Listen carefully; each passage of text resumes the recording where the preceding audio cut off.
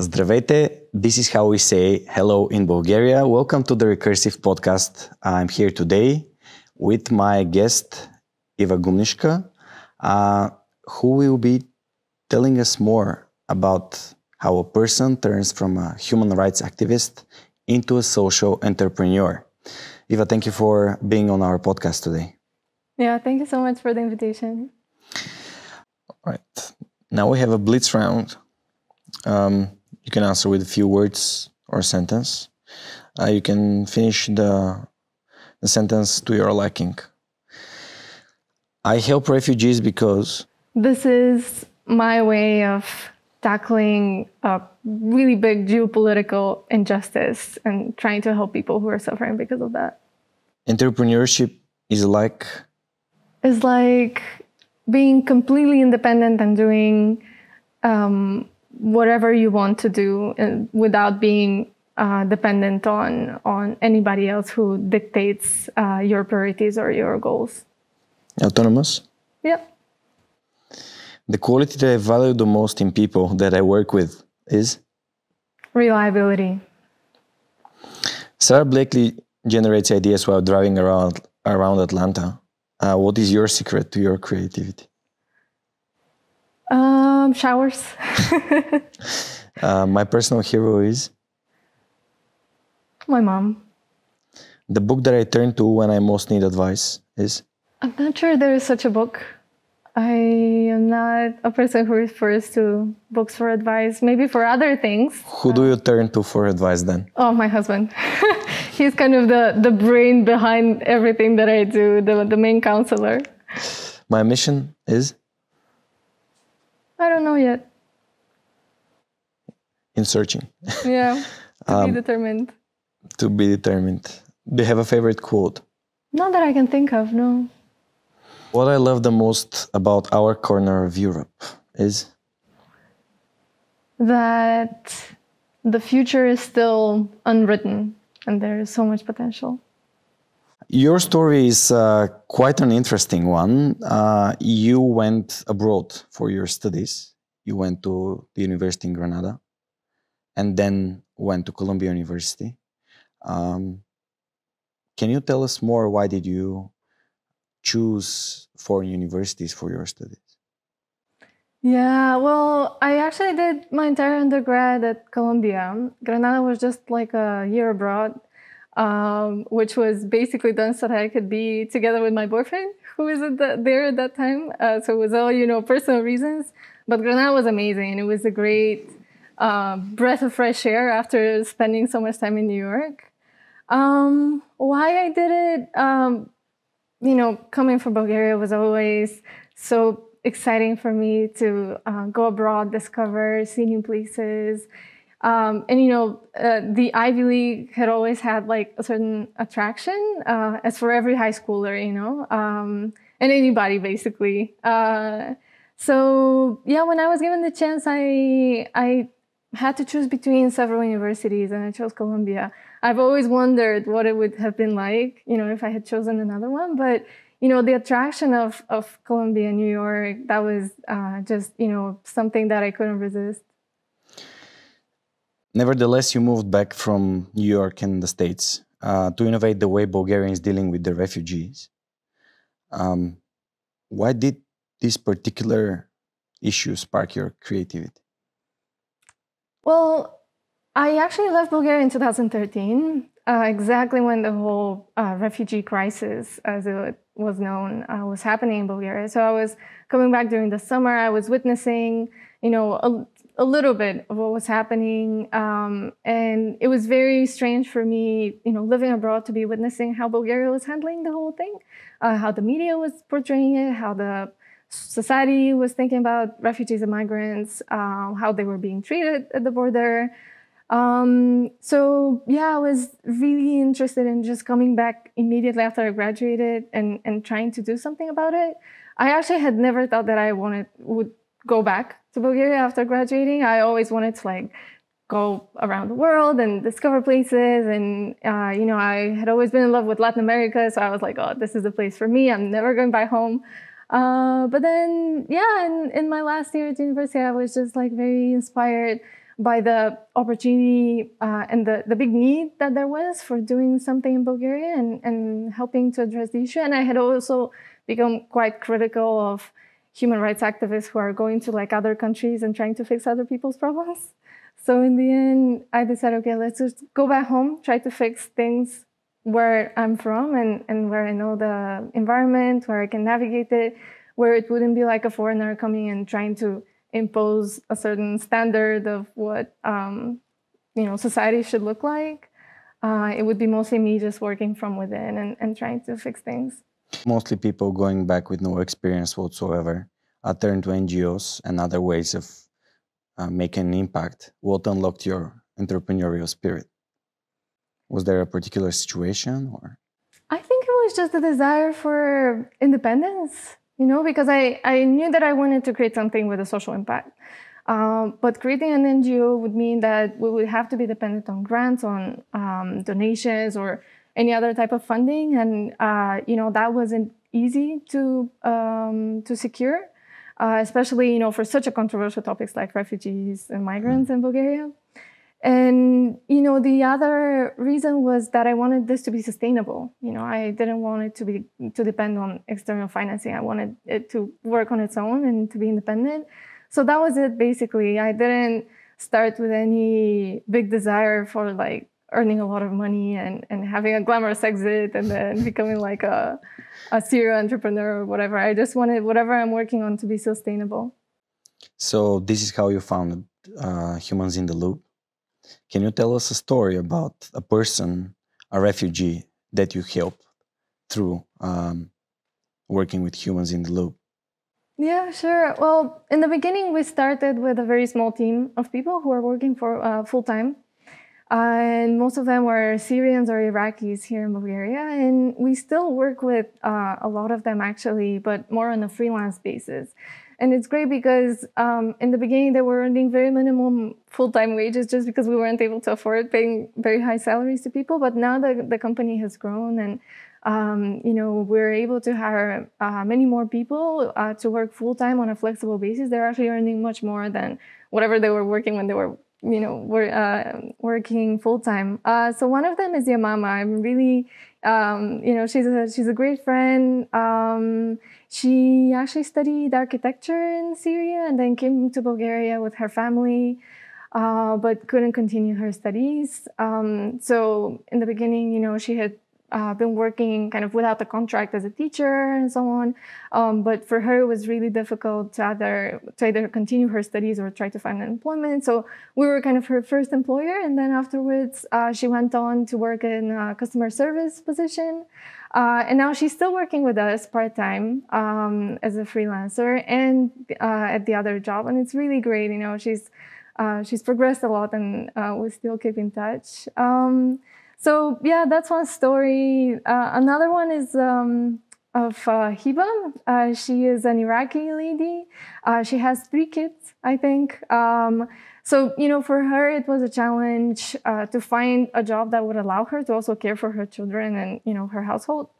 So um, she's amazing because she's the most hardworking person I've ever met. Um, always, you know, whenever she's done with her work, she always messages me and she's like, "Hey, Iva, is there more work? Any more projects? I'm available, just so that you know." Um, so yeah, she's one of the highest earners, the top earners at the company, and uh, she's been working with us as a freelancer since 2018. So um, yeah, we're really really happy with her and one thing that she recently shared because she's on one of the projects that is you know the, the highest earning and also the longest um, and she said that she's actually donating part of the money that she earns every month uh, through that project and she thinks that this is the reason why you know this project has been so uh, continuing for so long.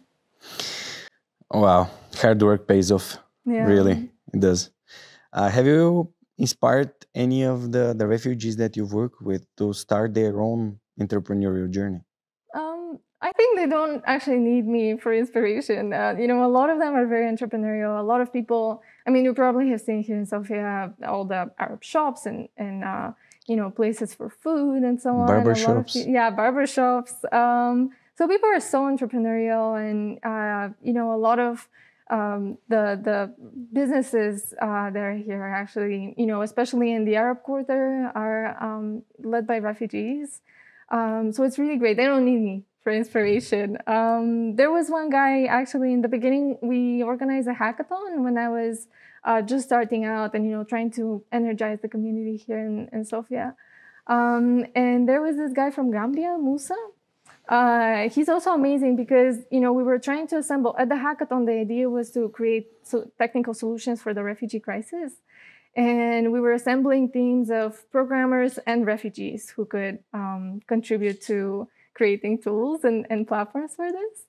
Um, and basically, Musa came and he was both a refugee and a programmer, and he created an entire project on his own um, and yeah, it was amazing because afterwards he actually built this platform. It was like a donations platform so that people could donate things directly to refugees instead of going through like NGOs and stuff. Um, and he actually created it. He registered his own business. Right now he's in China actually, so uh, he's not maintaining the platform so actively. But he was a great example of you know a refugee entrepreneur. So hidden gem. Yeah. Awesome. What does it take to build a sustainable company in the social sphere, something that has a social impact? Um, Just like humans in the loop.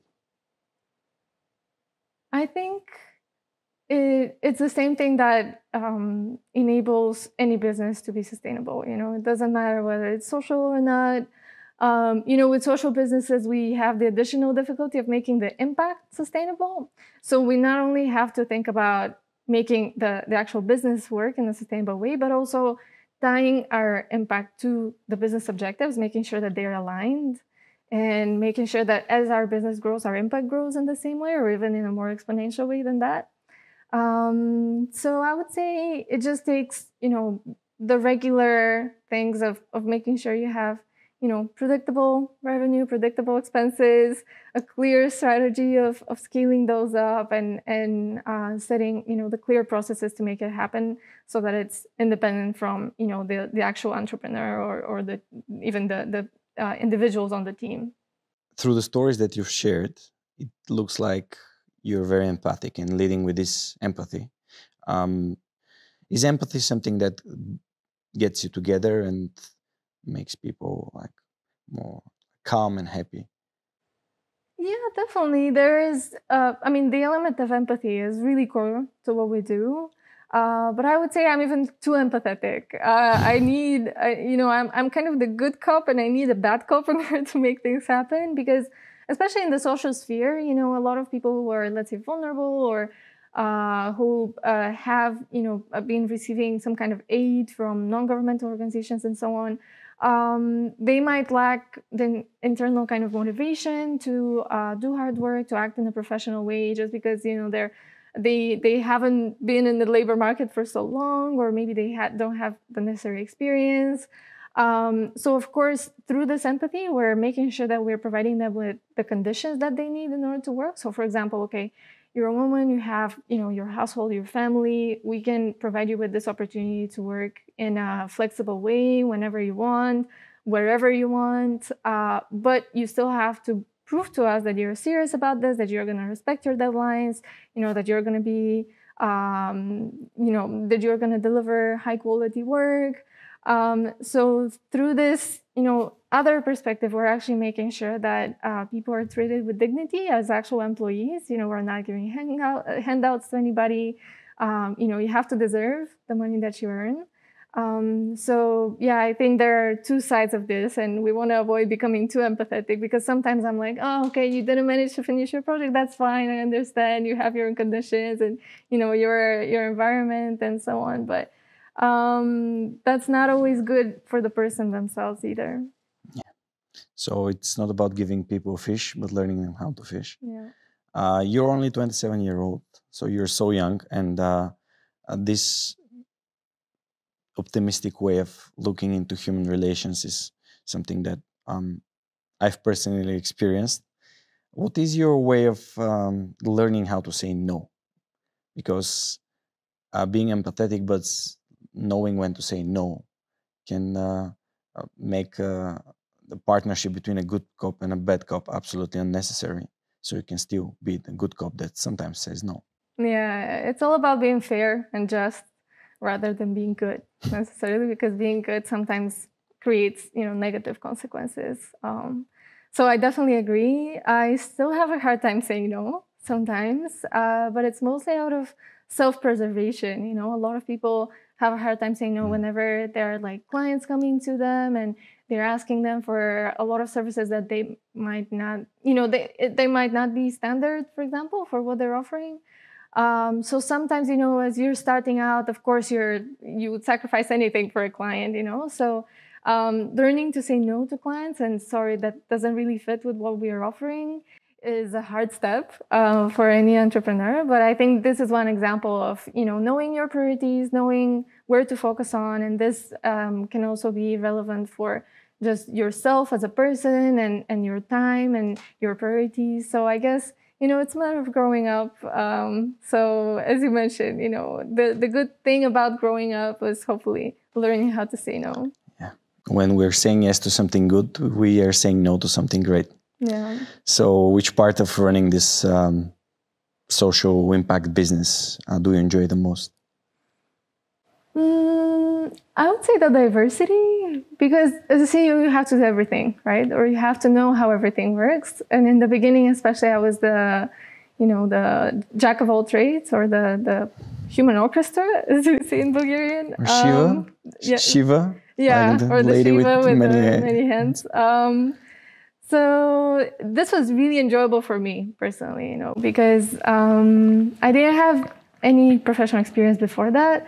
So um, I had to like learn everything from accounting to contracts to sales to marketing to uh, hiring people and social impact and measuring it. And uh, it's just very stimulating. Um, and this is something that I still enjoy up to this day. Um, so I would say this is one of the best parts of it. Right now, I'm kind of you know, thinking more on the strategic level of uh, the impact of our company. Uh, I'm collaborating with our chief impact officer that we now have. Um, and I'm thinking also about the ethical impact of what we're doing, not only on the people that we're working with, but also on the systems that we're building in terms of, you know, the AI models that we're training through our work and so on. So it's really great that, you know, now I'm, I can take a little bit of break of all the day to day work and actually uh, take some time to think about these big questions. Being so young and seeing how much effort you've put into this company, did you manage to find your personal uh, recipe for balanced life? That's a good question. Uh, it took me a while. Uh, definitely during the first two years, it was really hard to take a break because it was only me, right? So I was the bottleneck of the whole company. Everything depended on me, and every single decision or action um, so of course, I just couldn't afford to take a break. You know, um, the company would have stopped if I would, if I stopped as well.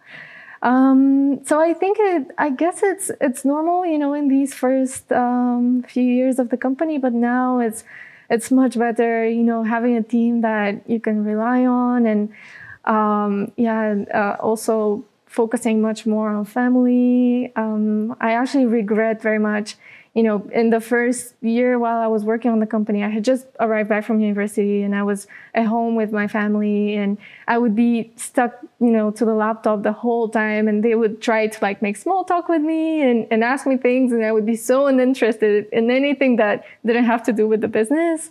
And I regret this so much because now, you know, I've moved out. I don't spend that much time with them. Um, so it's actually so many opportunities missed for, you know, being with them and spending time. Uh, so now I'm I'm really trying to think about you know all of the other aspects of my life and remembering that you know the company is not me and I'm not the company, uh, which is a, a, hard realization for any you know solo founder, um, and that there are so many other things in my life besides the company and beyond it. We people are very um, uninterested in getting wisdom about such things in life like okay my family is just next to me and i'm stuck on my games or my company or whatever i, I found more interesting or more important at the moment. Um, but this is the price we have to pay sometimes. And there's always a price that we have to pay uh, to get this uh, this knowledge and realization. Um, what keeps you going because you seem to be so enthusiastic into sharing what has happened in the last four years uh, and how you managed to grow from one person to how many people are there in team now? Mm, around 10. Around 10, working with how many refugees? Mm, 350. Wow. So tell me more about what fuels your fire. Yeah, well, in the beginning, it was just this inevitability of just having to push this forward because, you know, it had to happen. You know, I was just the vehicle through which it, it had to become a reality. And now it's more of, you know, this is already built.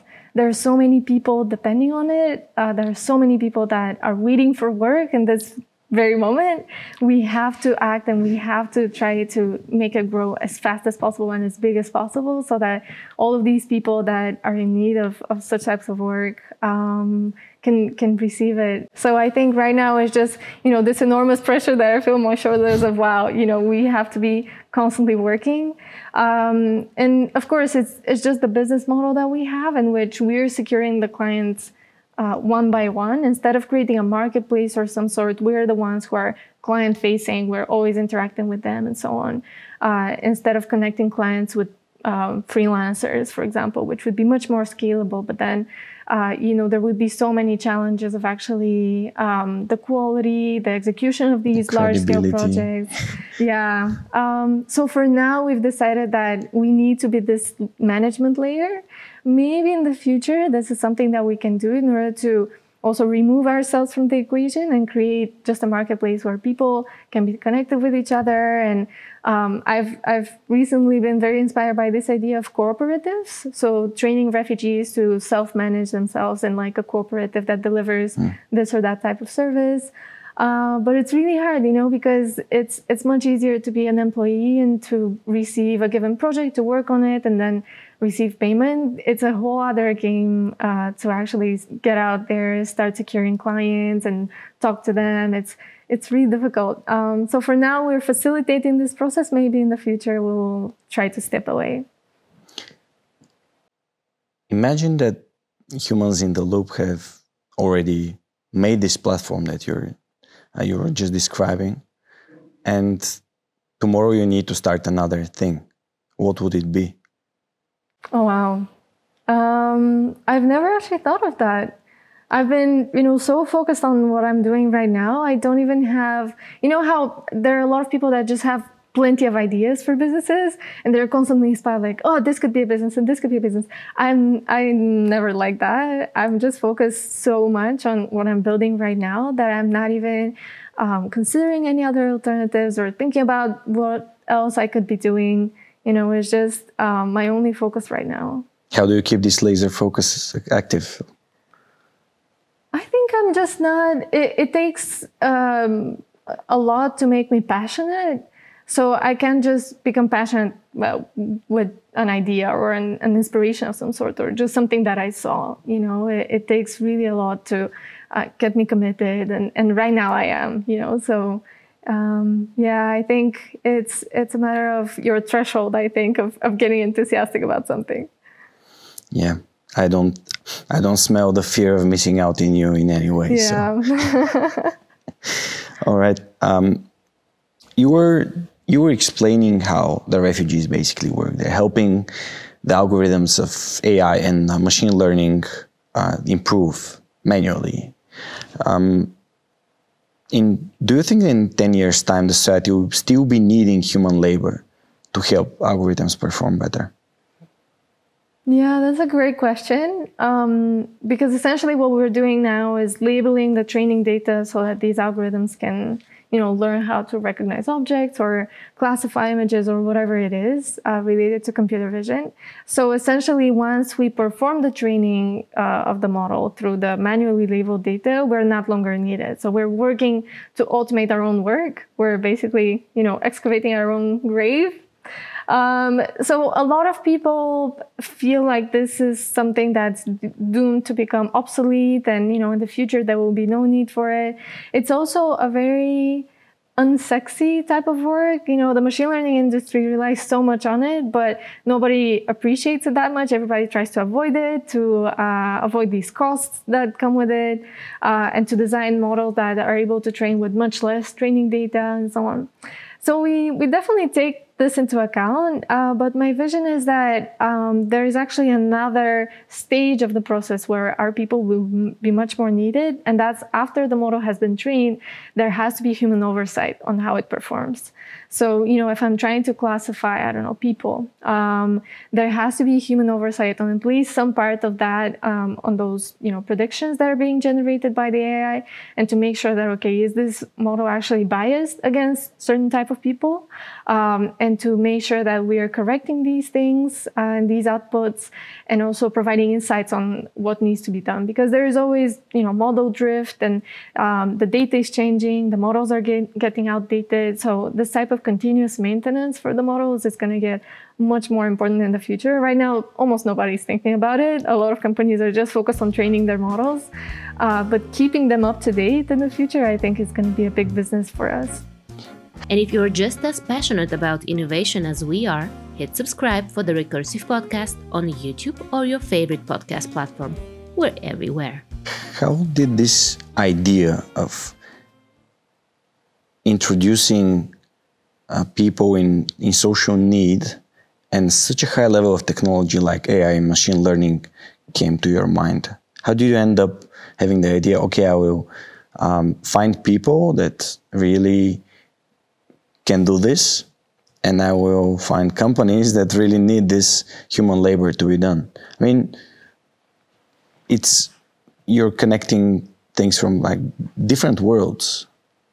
I know. It's super great. It's a really great niche that we were able to locate. Um, yeah, it was. Uh, it actually started as a whole other idea of uh, having people perform uh, trainings for sustainability. There was this uh, social enterprise back in New York that I met, um, and they were doing some really great things again for underprivileged youth. So I was very inspired by that model. And then uh, I took a lot of inspiration from other companies. There is this company in Cambodia called Digital Divide Data.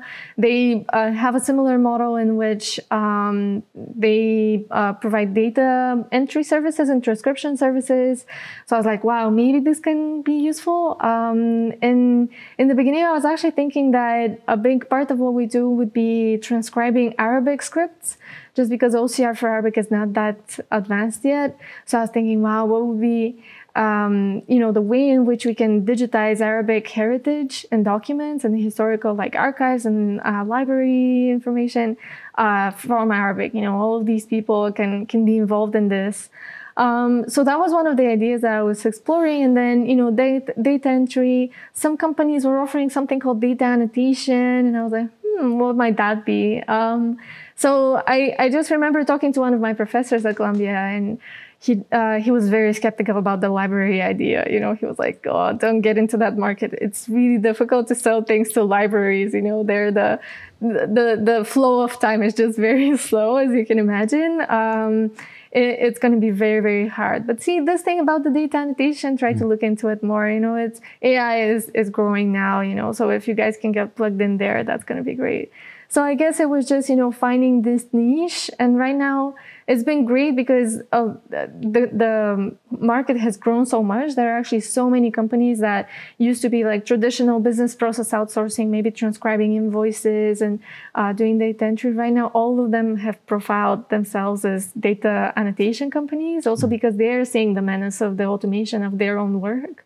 Um, there are also a lot of big call centers that are realizing, wow, we're going to have to participate in this market because otherwise our workforce will remain without any uh, work opportunities, you know, with the advent of chatbots and uh, assistants and so on.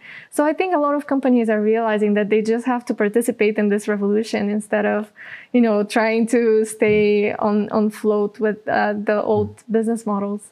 We have an outlier here. Imagga is a great example of uh, a software for uh, that uses machine learning to identify objects. Yeah, which is amazing. Imagga was actually our first client. Awesome. Yeah, I got connected with Georgi, the CEO, um, a while ago, back in 2017, and he was like, "How did you even find out about this industry? This is we do have this need. I don't, don't have no idea how you found out about this." Um, so we did a, a pilot with them in the beginning of 2018, and since then they have been really great. They have supported us so much. I still remember one thing that Gary told me, which was, you know, the best way to support the startup is to become its client. You know, not to give it funding or anything else, because you know, by by having a startup actually deliver results and, and performing services, you're going to help it clear out the, its entire processes. And um, yeah, so working with them has been really great. And he's been kind of, you know, even a, a mentor to me. And I really appreciate all of their help. Awesome. Um, you sounded like you uh, pivoted a bit to get the idea straight. And then the this advice that you gave passed down from Georgi Kadrev was uh, become a startup's client instead of uh, provided with with funding. Um, are there other ways to encourage founders, uh, social or other type of um, entrepreneurship in endeavors uh, to look for?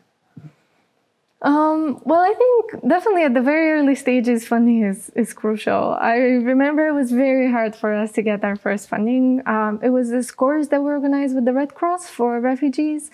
Uh, and we got like something like 3,000 uh, leva from it, so 1,500 euros. And it was so important for me to get this funding. You know, I organized an entire course. I led it all by myself. Uh, it was like five weeks, six hours per day, you know, really intense course. This is how we got our first employees. Um, but I actually remember, you know, it was so important to me. And at one point they called me and they said, hey, we might have to cancel this. I'm really sorry. Whatever. I don't even remember what had happened. Uh, and I was in some park and I just sat down and started crying. You know, this is the first and last time that I've cried about the business. Um, but, you know, for me, it was just like, uh, the, this first funding that was so crucial so that uh, we could start um, working um, and we could become operational. And it's really, I mean, it's it's almost nothing. What can you buy with 1,500 euros in terms of like operational capital or anything like that? Um, so the fact that we we didn't have a lot of funding actually made us more frugal. Um, so we, uh, instead of getting some funding to buy computers, for example, we just went out and asked for donations. Uh, we tried to find like a, uh, an office within uh, an IT uh, training center. So, you know, it was cheaper. Uh, there were so many organizations that helped us either with like donations or mm. just like materials and so on. So it made us, I guess, you know, a little bit, um, yeah, more frugal, trying to think of ways in which we can still get all of these resources that we needed to start without any of the funding. Um, so I guess you know funding is great, but also yeah, pushing startups to be resourceful and um, to be very careful about what they're spending their first funding on. This is also something very important. Another thing that, in my personal opinion, is important is uh, persistence. So, is there anything that you have ever quit uh, in your life? Because it sounds like you have the idea and you go and you find a way. Yeah. What a um, go getter that we have. Yeah, I'm not sure I've quit anything like business related. I had to quit belly dancing uh, because I used to be, I used to dance a lot when I was in the States. And uh, when I came back home, I, I also, you know, tried to, to uh, continue dancing here with a group. Uh, but it was such a hard time. You know, I wasn't earning any salary. I was, uh, you know, in those first stages of the business where we really, you know, weren't having a lot of clients in the beginning, I was, you know, having souleti for lunch every day just because I couldn't go uh, to a, like a normal restaurant or have anything else. Um, and then, yeah, I, it was just very hard because I was participating with this belly dance group at like concerts and stuff like that. And they, uh, we had to buy like a lot of the uh, costumes and, and dresses. Uh, so I was like, sorry, I, I have to quit. Um, so this was, you know, just a, a, sacrifice of what I really enjoyed doing, just because I wasn't able to um, participate at that point. Um, and also, I think there was a factor of, uh, you know, I'm trying to portray, you know, this professional image towards the people that I'm working with. But belly dancing, like Oriental dances, have a completely different, you know, kind of connotation towards them, both here in Bulgaria and in the Arab world. So me, you know, going out and, and doing, you know, be- belly dancing uh, at night, you know, as a secret second life, um, just didn't seem like something that would be a good fit. So yeah, I, I think this is one of the things that I've I've quit.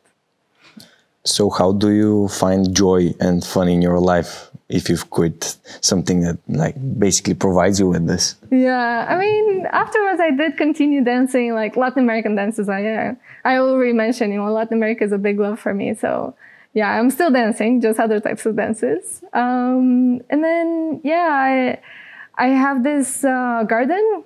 Uh, it's like a community garden that I go to uh, with my husband, and it's really great. It's like labor therapy, you know, um, just like digging and sowing stuff and taking care of your plants and so on. It's actually really great for mental health.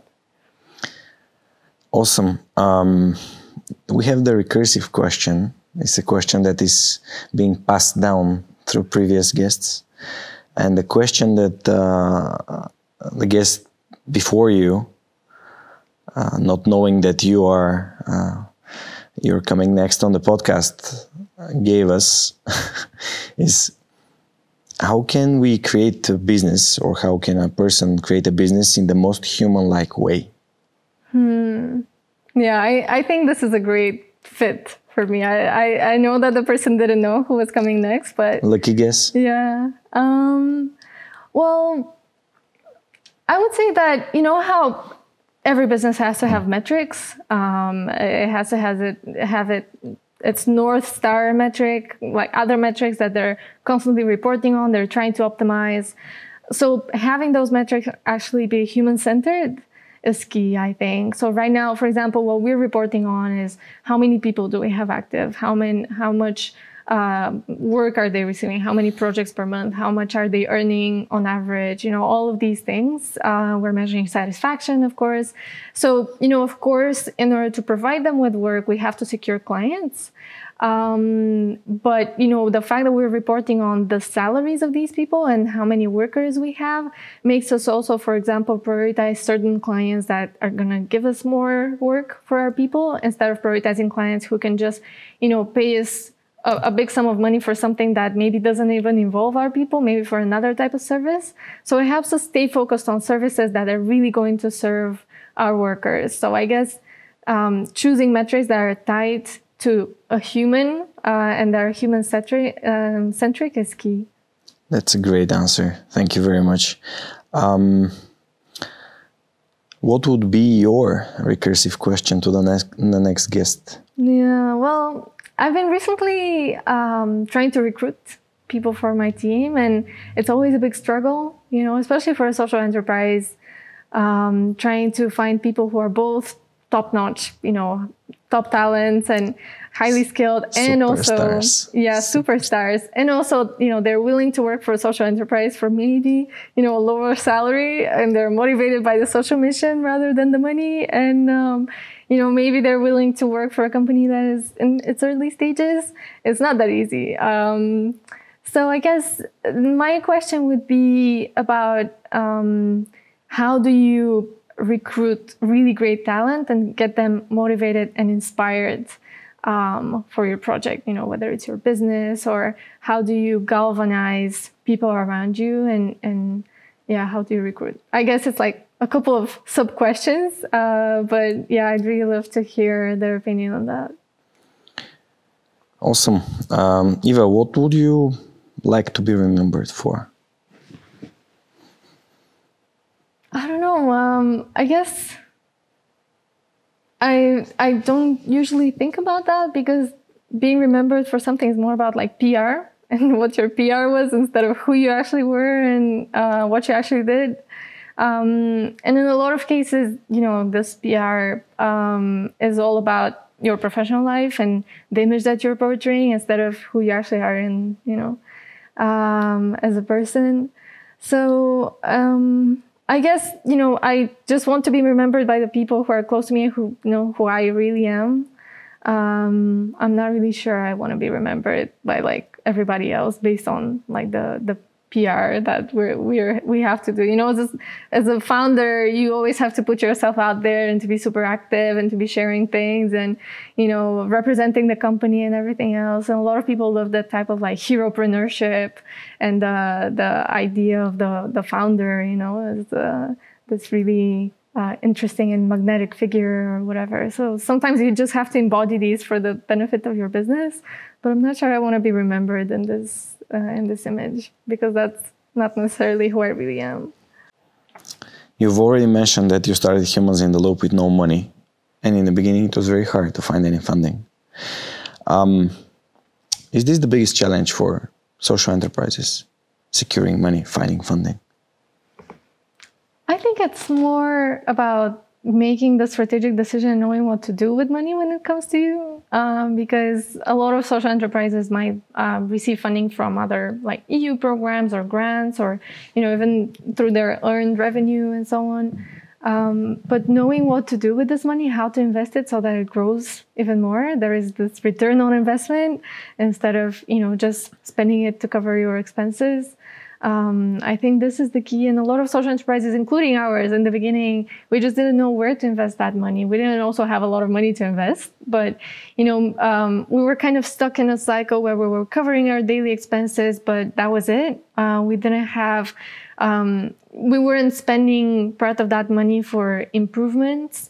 Um, so I guess uh, providing startups with this expertise and uh, strategic planning on how to manage their finances is even more crucial than giving them money.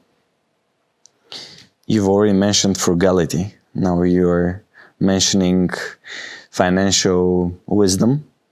So, is there anything else on finances that uh, any social entrepreneur should take into account prior to starting or in the beginning of the process?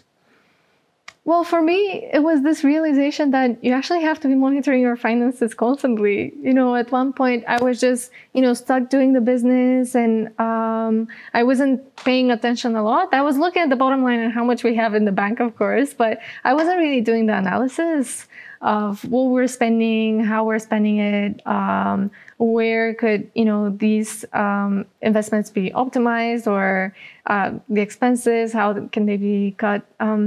So, you know, ever since I started monitoring uh, the everything on a monthly or even, you know, shorter basis, it really gave me an idea of how the business is, is going forward. Um, I think in the beginning I was just avoiding it because I wasn't sure whether I was going to like it or not. Uh, but you have to face the truth, you know, and you have to really know everything about your, your finances and, and especially with startups, it's like just um, plus and minus. You know, you don't have very complex financial calculations or anything else like that. It's just money in, money out. So you have to be in control of that fully.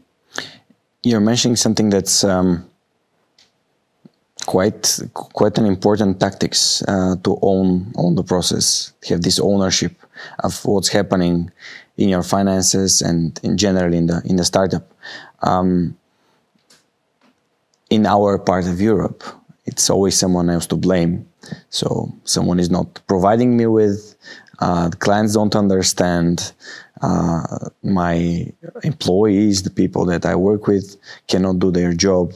So how did you manage to develop this mindset about, okay, I, I'm here and I own it and I, you did it for two years? I think it was the question of there not being anybody else. Um, of course, there are the external actors to blame. You know, the, nobody understands me, and, and people just don't get it. Um, but also the fact that I couldn't rely on anybody else. Mm. Now that the team is expanding and we have some really great uh, members on the team, it's a matter of um, transmitting this to them and trusting them to own their part of the process uh, which has been hard. You know, I'm uh, usually it's very hard to earn my trust, and I'm very distrustful just because I've been owning these processes for so long. Um, so for me to let go and to trust you for managing this or that part of the business takes a while, maybe around a year. Um, for me to fully let go. Um, but uh, yeah, you know, um, reliability is, is key for me, uh, for everybody on the team, um, to make sure that I can really trust them. And, and I really am lucky to have a bunch of really great people. There's a cultural story in our um, Bulgarian heritage about the three sons that uh, were sent to the village with a cart, and their father told them if the uh, the cart breaks down, you need to uh, shout for the what's how is it in English? I have no idea. I don't think it exists. Uh, maybe the like unwill. the unwill, yeah. Someone, someone to help you, and um, when the sons returned, the father asked them what happened, and they said. Um, we were calling, but no one came, so we fixed the cart. And on, you were on your own. You basically there was there were no brothers. You had to do it on your own. Uh, but for me, it's absolutely true. You need to own own the entire process. Mm. Let's let's go back a bit from a tiny Bulgaria, like a, approximately like seven million people, to one of the biggest um, cities in the world, New York, and the Ivy League. Um, did you choose Columbia University or it chose you? Because the Ivy League is like the best of the best in in education, like higher education in the world. Um, I definitely chose it. Uh, at first, I remember actually um, when I was in 11th grade, you know, kind of thinking about what to do with my life after I graduate from high school. I remember my father telling me, oh, try to stay in Bulgaria, you know, this would be good. So this was my plan. Um, but then, you know, uh, I was planning to apply for the American University in Blagoevgrad, and uh, they needed, you know, the SATs and essays, basically everything that uh, universities in the US need. So I was like, okay, you know, I'm doing this anyways. Why not also submit my application to the States without relying on anything? Because I knew that I would only be able to go with a full scholarship. You know, I wouldn't be able to afford it at all uh, otherwise. Um, so it turned out that they did accept me. Um, and for me, it was really hard to say no and to just reject um, this opportunity. But it was definitely a conscious decision of, mm. okay, I'm going. Um, and you know, in, in, Latin America, because I used to have a lot of friends from there at that point, and they always have um, this mistrust of, of the US. They always call them uh, Gringolandia. and I was like, oh no, am I actually going to Gringolandia? Uh, Um, and it was uh, it was really um, really strange, you know, being there. Um, but I definitely learned a, uh, a lot. Why did you choose human rights? Yeah, good question. I actually, so at first I wanted to study something related to international relations and political science, but then political science in the States, um, it sucks you know they only study a lot of these like political science theories um, and um, it, it's a very us centric mindset um, and, and theory. So i really didn't enjoy it. And i thought uh, nobody in my political science classes had any critical thinking at all. Um, and then i actually started taking classes on modern history. Uh, I took one class with Rashid Khalidi, who is like this really uh, great uh, scholar of Middle Eastern history, modern Middle Eastern history. Uh, he's a disciple of Edward Said, who's also this really uh, amazing professor who used to uh, teach at Columbia. So the class with him was amazing. It was really eye-opening about you know the the current situation of the Middle East and all of the recent history ever since the fall of the Ottoman Empire of, of the whole region and the role of colonialism. Uh, and it was it was just so amazing to be studying uh, this type of history because it actually teaches you a lot about politics in a real life way. Uh, also, very frequently from alternative perspectives that just the U.S. one. Uh, so I wanted to study history, and I started taking like history classes and so on. And my family was like, "What are you doing? Are you going to be a history professor or something?" Uh, they didn't see any utility at all uh, in that. So in the end. Um, I was also thinking, okay, you know, graduating with a liberal arts history degree is nice, but then it's true, you know, um, yeah, you have to be very resourceful about what to do next with it afterwards, uh, and how to display it in a way that makes sense to employers. So in the end, I decided, okay, what I really care about is, you know, this human rights aspect, and um, also the human rights department was very flexible in terms of what classes you could count towards satisfying the major requirements. So I basically took all of my uh, weird classes that I had taken from weird disciplines, and I declared all of these are like human rights related. So this is how I, I ended up with this degree. At the end of the day, you didn't need any employer. Yeah, true. So I shouldn't have cared that much. Um, how does a young person find what uh, he or she likes? Because um, what, what kind of questions do you because, give yourself in order to clarify the path in life that you want to take, or at least test? Mm. Uh, I have a friend of mine that says the questions are the steering wheel of the mind. What uh, kind of questions did you uh, ask yourself or what kind of questions would you recommend for others that are searching for their own ways? Mm, asking yourself what are the opportunities in front of me? Um, because sometimes we're kind of blind to what is out there.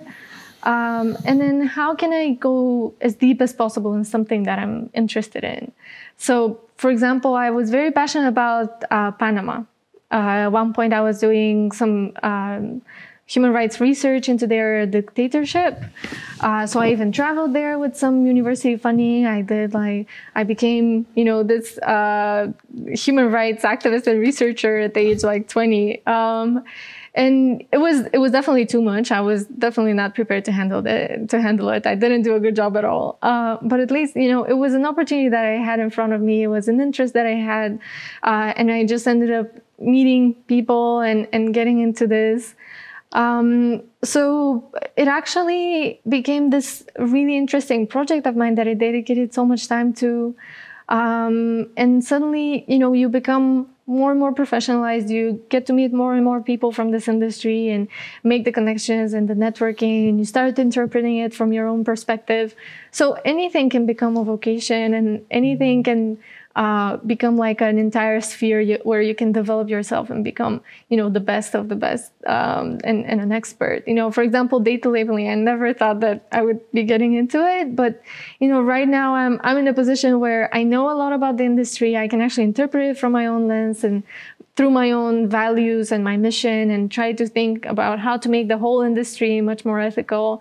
Um, so I guess it's about, you know, pinpointing an opportunity and just getting deep into it, trying to, you know, do it your way. And um, yeah, you're going to be surprised at, you know, what levels you're able to reach. You learned the business on the go. Uh, what did you find out about your strong sides prior to creating the organization? Uh, something from your past that really helped you uh, through your um, first steps in the first two years of creating your own company? Yeah, I think all of the extracurriculars. Um, you know, back in Granada during my study abroad year, I uh, volunteered with an organization working with uh, sex workers and prostitutes. Uh, and we organized some events and like a big academic conference. Um, and, you know, being behind such an event, you have to talk to a lot of stakeholders and to, you know, try to secure funding. And it's basically like a small enterprise that you're working on, even if it's just like one, a one-off event. Um, so all of these skills uh, for communication, for branding and marketing and, you know, for attracting the right people and doing all that networking, um, those are so helpful. Those are much more helpful than, you know, kind of the, the more dry skills or more technical skills that you're learning in your classes at university. So I guess, you know, all of these volunteering activities, NGOs, um, yeah, other um, clubs that you're part of, sports activities, anything, you know, that has to do with teamwork, leadership. You actually learn so much uh, through these things and they give you so much. I didn't realize it before I actually mm. started working on this business and, and seeing how these were playing out. So hands on is the right approach. Yeah.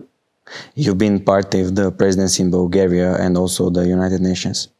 What was your experience with uh, joining some of really like representative organizations such as these two? Yeah, well, these were internships. These were just summer internships, and nevertheless, they were very useless. I mean, I, I am happy to, you know, be able to speak about that frankly. Nothing against the institutions. Um, but, you know, in a lot of cases, young people are just trying to get experience. You know, they're trying to have something to mm. put on their CVs and they're getting in touch with these institutions. And in a lot of cases, it's just, um, uh, very useless. You're not contributing to the organization at all. They don't know what to do with you. You're just this intern without any experience. Um, they keep you at, at side, you know, at bay because they don't want to give you anything that's actually important for them. Um, and in the end, you don't learn a lot. Um, and it feels like time lost on both sides. Uh, except for, you know, at the end, they give you a certificate that you've completed an internship with them and you can finally put it on your LinkedIn. Um, but you know, right now, for example, we're working with interns at Humans in the Loop, and what I'm doing is really giving them all of the practical work that's related. For example, if it's for marketing, you're in charge of social media, just go ahead and, you know, of course, we're communicating about what you're doing, but, you know, get out there, try to do things that are beneficial for the company, you know, take control. Even though you're an intern, I trust you fully. Uh, you don't have to be like, you know, bringing coffee to anybody or doing stuff like that. You're actually part of the team what would be your advice to um, yourself looking for internship if you could go back in time? Um, well, I think it was not such a bad step to get into those places. Because of course when when you don't have any experience you're trying to find the most prestigious place that you can put on your cv but definitely i would say that my work for example with the spanish ngo uh, that you know it's not famous or anything but it exposes you for example to a collective that uh, not a lot of people have access to or uh, communicates with you know uh, sex workers in spain for example and a lot of them were foreigners and we would go to the brothels and and talk to them and uh, this was such an amazing experience and much more useful than you know just being at the at the presidency here and and trying to think you know what what I can be um, useful with and maybe drafting a report or two for the internal use. no contribution. Yeah. Yeah, I see. Awesome. For me, uh, personal life is uh, was a great enabler in my personal career last couple of years. Uh, how important it is to find someone that's not only intellectually supportive, but also um, inspires you to do better, to do more.